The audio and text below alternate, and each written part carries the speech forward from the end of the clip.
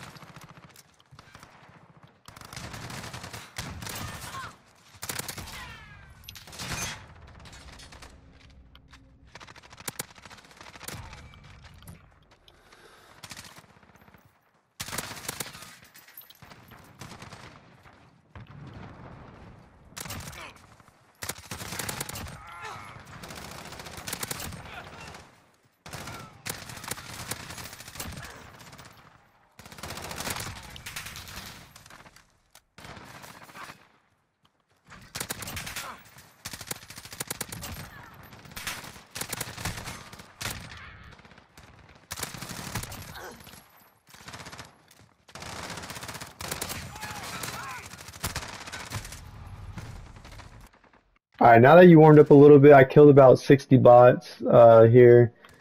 now that you're kind of warmed up a little bit, you got the aim assist going. I recommend going through all 100 bots before you turn aim assist back on. But now you can see the difference when you go. I put standard aim assist, but then it literally feels like aimbot.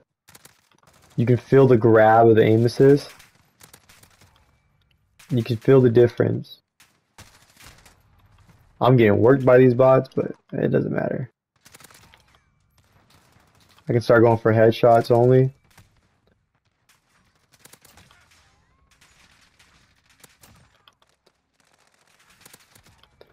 You can see just a little bit of practice. I'm able to just, you see the difference. Literally got aimbot going on here. Headshot only.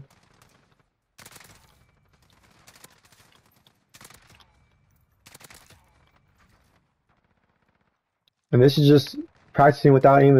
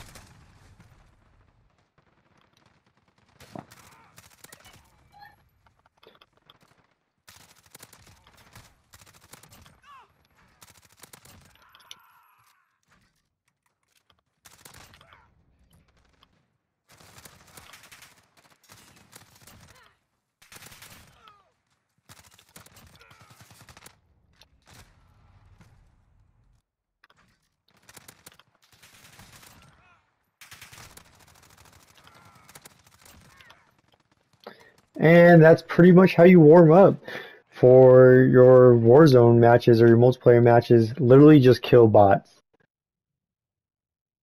This is literally the most effective way of getting better. If you do this before every time you get on, it's just muscle memory. You're going to get better and better the more and more bots you kill without aim assist. Your aim is going to get super good. Your movement's going to get better just because you're killing bots and you're going to try to avoid them shooting you. So all that's going to get better over time. You can't just get better in a week. It takes time. You got to keep killing the bots over and over and over again. And it's just muscle repetitiveness, muscle memory. Killing these bots will get you better in your aim and your movement. Just do this before every match and you will get better. I hope you enjoyed this video. Like, comment, and subscribe. If you think I can improve on anything, give you all more tips on whatever you want, whatever game, Warzone, multiplayer, just let me know. But hope you all enjoy and maybe y'all can try this to get better. Get those high kill games, get those dubs. Enjoy. Have fun with it. Get better. Practice.